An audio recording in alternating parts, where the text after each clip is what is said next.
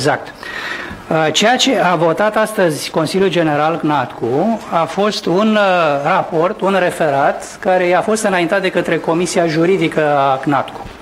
Iar acest uh, raport este rezultatul unei evaluări care a fost înfăptuită, a fost realizată de o comisie tehnică din care au făcut parte trei profesori de drept. Un profesor din Strasbourg, un profesor din Franța, de la Paris și un profesor de la Universitatea Babeș-Bolyai din Cluj. În referatul acesta tehnic, decizia a fost exact aceasta. 4% din uh, lucrarea de doctorat, din teza de doctorat a doamnei Căveși, reprezintă o copiere după surse care nu sunt în mod propriu prezente în bibliografie sau nu sunt uh, menționate în corpul tezei. 1% este un gen, au definit dânsii, de plagiat, de copiere, care pornește de la faptul că au fost preluate niște surse generale din domeniul jurisprudenței.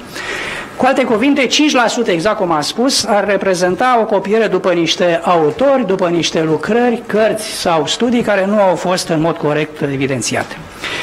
Uh, propunerea pe care au făcut-o și cei din Comisia Tehnică și specialiștii din Comisia Juridică a CNATCU a fost aceea ca uh, pedepsa care se aplică într-o astfel de situație să fie proporțională cu frauda care a fost făcută.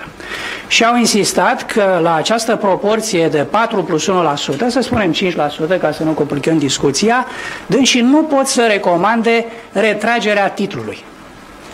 Exact acest document a fost astăzi înaintat Consiliului General, care este alcătuit din specialiști în toate domeniile, toate ramurile științei, nu numai din juriști, iar aceștia au avut de discutat acest referat al Consiliului, al Comisiei Juridice.